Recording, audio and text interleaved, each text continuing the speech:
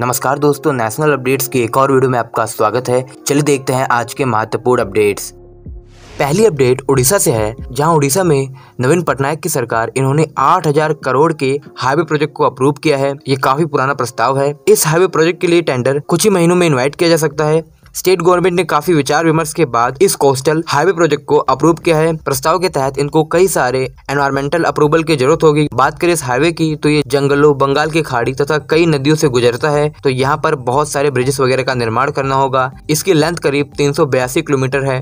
इसकी लेंथ करीब तीन सौ बयासी किलोमीटर है और ये उड़ीसा के तांगी से वेस्ट बंगाल के दीघा तक बनाया जाएगा। दोस्तों, उड़ीसा में पहली बार ऐसा कोस्टल रोड बनने जा रहा है, जहाँ पर बहुत ज़्यादा इन्वेस्टमेंट स्टेट गवर्नमेंट करेगी। तो यहाँ पर दोस्तों, बात करें उड़ीसा की तो यहाँ पर हर वर्ष चक्रवात आते हैं। इसके अलावा यहाँ पर जो हाईवे बनने वाला है, यहाँ पर कई सारे ब्रिजेस का निर्माण करना होगा तो ये काफ़ी चैलेंजिंग होगा। तो इसको इंश्योर करने के लिए कि यहाँ पर क्वालिटी अच्छी हो, बहुत ही हाई एडवांस इंजीनियरिंग की ज़रूरत पड़ेगी और इसलिए यहाँ पर करीब छः साल का समय लगेगा इस हाईवे के डेवलपमेंट में।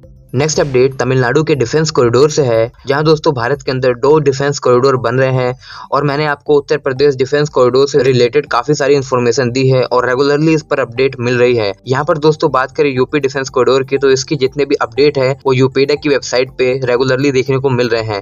लेकिन बात करें तमिलनाडु के अंदर बनने जा रहे डिफेंस कॉरिडोर की, जिस पर बहुत सारा काम हो गया है तो यहाँ पर दोस्तों, ज़्यादा अपडेट अवेलेबल नहीं है। अगर आप वहाँ की वेबसाइट पे जाके चेक करते हैं तो आपको 2018-19 के ही आर्टिकल देखने को मिलेंगे। तो यहाँ पर दोस्तों, तमिलनाडु के डिफेंस कॉरिडोर से रिलेटेड काफ़ी ज़्यादा इन्फॉर्मेशन निकल के आ रही है। इन रिपोर्ट्स के तहत, जनवरी दो हज़ार उन्नीस तक, अभी तक करीब तमिलनाडु डिफेंस कॉरिडोर में दो हज़ार एक सौ सोलह करोड़ की इन्वेस्टमेंट अट्रैक्ट की है। इसके अलावा, तमिलनाडु के अंदर डिफेंस कॉरिडोर के लॉन्चिंग डे पर कोयम्बटूर त्रिची सलेम और होसोर इन नोट पर करीब 3,123 करोड़ की इन्वेस्टमेंट पहले ही दिन कंपनियों ने कमिट की थी और ऑलरेडी वो 966 करोड़ इन्वेस्ट कर चुके हैं।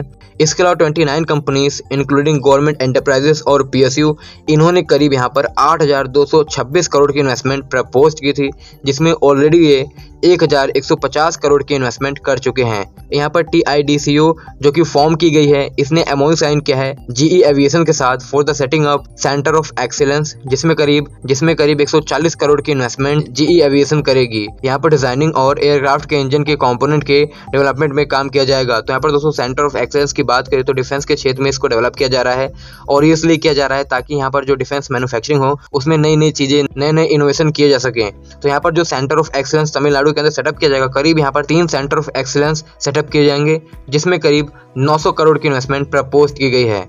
बात करें लैंड इक्विजेशन की तो यहाँ पर करीब 700 एकड़ लैंड बहुत पहले ही एक्वायर कर लिया गया है। इसके अलावा 500 एकड़ लैंड आइडेंटिफाई किया गया है। वेल दोस्तों, यहाँ पर जो रिपोर्ट आई है, मैं उनको श्योरली आपको नहीं बता सकता, क्योंकि यहाँ पर काफ़ी कम इन्फॉर्मेशन दी गई है कि कितना लैंड इक्विजेशन हुआ है। यूपी के मुकाबले तो काफ़ी कम हुआ है इस रिपोर्ट के अकॉर्डिंग लेकिन अभी ये नहीं पता है कि कहाँ कहाँ लैंड इक्विजेशन का काम चल रहा है और कितना हो गया है।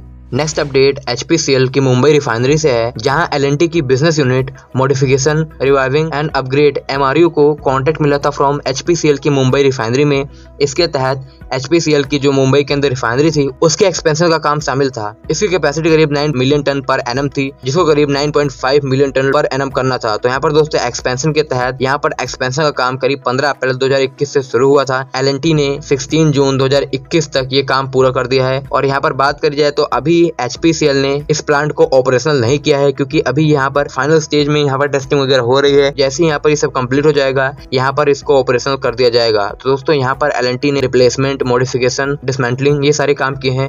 करीब 180 क्रिटिकल इक्विपमेंट और एक लाख तीस हज़ार फेब्रिकेशन पाइप स्पोल्स का और अदर कंपोनेंट का। नेक्स्ट अपडेट नेशनल हाईवे से है, जहाँ नितिन गडकरी जी ने करीब 3.75 kilometre long four lane elevated corridor का इनोग्रेशन किया है, जो कि गुजरात के अंदर है। ये डीसा टाउन से बंसुकांता तक बनाया गया है। इस इनोग्रेशन सेरेमनी के दौरान नितिन गडकरी जी ने कहा कि हम नेक्स्ट थ्री इयर्स के अंदर इंडिया के नेशनल हाईवे को अमेरिकन रोड की तरह बना देंगे अमेरिकन रोड की तरह बना देंगे। अब यहाँ पर अमेरिकन रोड का मतलब है कि उनके स्टैंडर्ड की क्वालिटी यहाँ पर प्रोवाइड की जाएगी नेशनल हाईवे में। तो बात करें एन एच ए आई की, जो आज के समय में नेशनल हाईवे बन रहे हैं, उनकी क्वालिटी पहले के मुकाबले बेहतरीन है। लेकिन दोस्तों, बात करी जाए छोटे टाउन की, आपने देखा होगा कि बहुत सारे डिस्ट्रिक्ट के टाउन है जो कि सिटी में ट्रांसफॉर्म होते हैं धीरे धीरे वहाँ पर दोस्तों हाईवे या फिर रोड की कंडीशन बहुत ही बुरी है।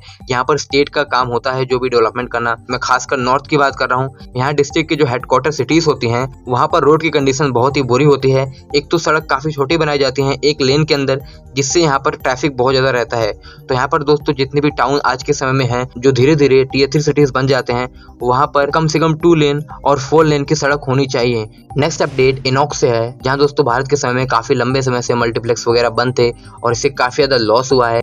इसी को देखते हुए बहुत सारी कंपनीज़ बहुत सारा काम कर रही हैं, वो अपने मार्केट को बड़ा कर रहे हैं। तो यहाँ पर दोस्तों इनोक्स जो कि एक मल्टीप्लेक्स चेन ऑपरेटर है, इन्होंने कई सारी कंपनियों के साथ एग्रीमेंट साइन किया है, जिसके तहत ही करीब 926 स्क्रीन्स ऐड करेंगे। दोस्तों, जैसा कि आप जानते हैं कि सिनेमा भले ही आज के समय में कोरोना पेंडेमिक के कारण इसको काफ़ी ज़्यादा लॉस हो रहा है। OTT प्लेटफॉर्म का काफ़ी ज़्यादा यहाँ पर राइज देखा गया है। फिर से जो सिनेमा है, वो वापस पटरी पे आएगा। क्योंकि यहाँ पर सिनेमा की बात करें तो यहाँ पर एक्सपीरियंस होता है जो आपको स्मार्टफ़ोन में देखने को नहीं मिलेगा।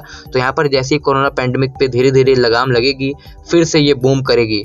तो यहाँ पर इसी को देखते हुए इनोक्स अपने स्क्रीन को इंक्रीज कर रहा है अपनी सिटीज़ के अंदर। नेक्स्ट अपडेट भारत के अंदर हाइड्रोकार्बन रिज़र्व के एक्सप्लोरेशन से है, जहाँ फ्राइडे को new oil and gas exploration के लिए बीट्स इनवाइट किए गए थे। ये पांचवी बार बीड इनवाइट किए गए थे। यहाँ पर करीब इस बीड से 300 से 400 मिलियन डॉलर की इन्वेस्टमेंट एक्सपेक्ट की गई है। दोस्तों, इसके तहत भारत के अंदर हाइड्रोकार्बन रिज़र्व को एक्सप्लोर किया जाएगा। करीब 21 ब्लॉक्स और एरियाज़ को आइडेंटिफाई किया गया है। तो यहाँ पर दोस्तों 21 ब्लॉक्स हैं नाइन स्टेट्स के अंदर। इससे पहले थोड़ा विवाद भी हो गया था, जहाँ पर तमिलनाडु गवर्नमेंट ने कहा था कि यहाँ पर तमिलनाडु को हटा दें, क्योंकि तमिलनाडु के अंदर कावेरी बेसन पे जो ब्लॉक्स आइडेंटिफाई किए गए हैं, वो प्रोटेक्टेड एग्रीकल्चर जोन में आते हैं। यहाँ पर एग्रो बेस्ड इकोनॉमी को काफ़ी ज़्यादा लॉस होगा, इसलिए तमिलनाडु गवर्नमेंट ने सेंट्रल गवर्नमेंट को यहाँ पर हाइड्रोकार्बन एक्सप्लोरेशन के लिए मना कर दिया। तो यहाँ पर भारत के अंदर पहली बार हाइड्रोकार्बन रिज़र्व के लिए इतनी बड़ी बीट्स इन्वाइट की जा रही है, ताकि यहाँ पर एक्सप्लोरेशन इसकी हो सके बड़ी मात्रा में। दोस्तों, बात करें हाइड्रोकार्बन की तो इससे प्रोपेन ब्यूटेन नेचुरल गैसोलीन ऐसे बहुत सारे रिसोर्सेस मिलते हैं, जिनका यूज़ इंडस्ट्रीज़ में बहुत ज़्यादा है। दोस्तों नेक्स्ट अपडेट भारत की हैंडलूम इंडस्ट्रीज़ से है जहाँ टेक्सटाइल मिनिस्टर पीयूष गोयल जी ने हैंडलूम सेक्टर इसके डेवलपमेंट के लिए बहुत सारी बातें बोली। इन्होंने कहा कि हम हैंडलूम इंडस्ट्रीज़ के एक्सपोर्ट को करीब दस हज़ार करोड़ तक करना चाहते हैं तथा इसके प्रोडक्शन को डबल करना चाहते हैं 1.25 लाख करोड़ तक पहुंचाना चाहते हैं नेक्स्ट थ्री इयर्स के अंदर। तो दोस्तों बात करें भारत के हैंडलूम एक्सपोर्ट की इसकी वर्थ अभी 2500 करोड़ है जबकि अगर टोटल प्रोडक्शन की बात करें तो वो करीब 60,000 करोड़ है। तो यहाँ पर FDCI fashion design council of India ये हैंडलूम इंडस्ट्रीज़ के लिए webinar training equipment maker marketing expert इनके साथ एक वेबिनार ऑर्गेनाइज करने जा रही है, जहाँ पर हैंडलूम इंडस्ट्री से रिलेटेड काफ़ी ज़्यादा महत्वपूर्ण चर्चाएँ होंगी और यहाँ पर बहुत सारे प्लान इम्प्लीमेंट किए जाएँगे टारगेट को अचीव करने के लिए। तो दोस्तों, आपको बता दें, भारत की हैंडलूम इंडस्ट्री तो ये काफ़ी पुरानी इंडस्ट्री है, ये प्राचीन काल से ही चली आ रही है और आज तक ये ज़िंदा है। ये न केंद्र पर निर्भर है और न ही राज्य पर निर्भर है। ये एक आत्मनिर्भर इंडस्ट्री है इसलिए ये चली आ रही है। इसके डेवलपमेंट के लिए कई सारे स्टेट्स ने बहुत सारे प्रोग्राम चलाए हैं, लेकिन अब एक्सपोर्ट को बढ़ाने के लिए ऐसा पहला प्रोग्राम चलाया जाने वाला है। दो साल पहले उत्तर प्रदेश के अंदर ओडीओपी स्कीम के तहत हैंडलूम इंडस्ट्री को काफ़ी ज़्यादा प्रमोशन दिया गया था। तो यहाँ पर दोस्तों, जहाँ पर हैंडलूम इंडस्ट्रीज़ मज़बूत हैं, या फिर एक ग्रोइंग फेस में है, यहाँ पर नॉर्थ ईस्ट उत्तर प्रदेश, बिहार, गुजरात, पंजाब समेत बहुत सारे राज्य हैं जिनको फ़ायदा होगा जब हैंडलूम जब हैंडलूम इंडस्ट्री के ग्रोथ के लिए सेंट्रल गवर्नमेंट इन्वेस्टमेंट करेगी। अगर दोस्तों, यहाँ पर इन्वेस्टमेंट सरकार करेगी, हमारी रूरल इकोनॉमी को मजबूती मिलेगी, क्योंकि ये जो हैंडलूम इंडस्ट्रीज़ हैं, ये ज़्यादातर हमारे टीयर थ्री सिटीज़ के अंदर है। सो so आज की इस वीडियो में इतना ही। अगर आपको वीडियो पसंद आए तो वीडियो को लाइक करें चैनल को सब्सक्राइब करें। धन्यवाद आपका ये वीडियो देखने के लिए। मिलते हैं नेक्स्ट वीडियो में।